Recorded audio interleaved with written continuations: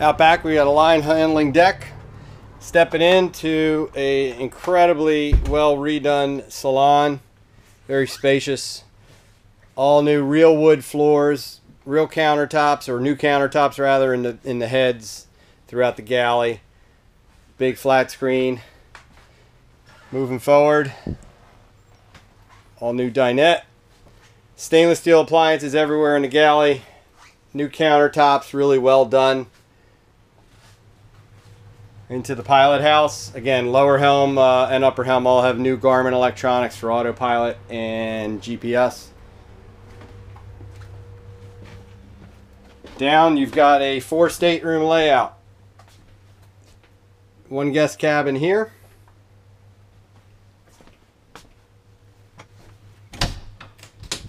With in-suite head and shower. Moving forward. Another guest cabin with head. Two generators living down below there.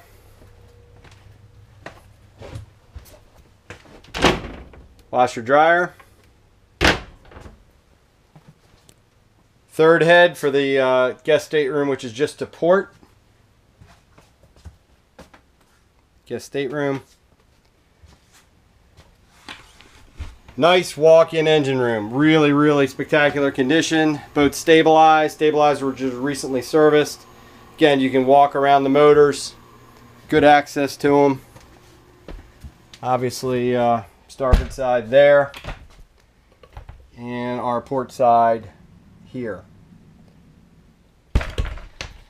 Heading on back, you get to a spacious master, which has kind of this uh, office alcove here. Great place for a laptop, do some work, iron your pants, whatever, uh, whatever floats your boat there.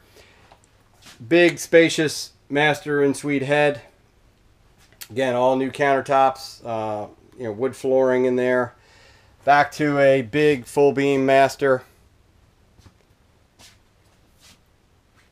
And that's it. Four stateroom, four head layout all redone. I would think you're not going to find another 63 Hatteras that compares to this one. So uh, come take a look. Seller is going uh, to something a little lower for bridge clearance to do the Great Loop.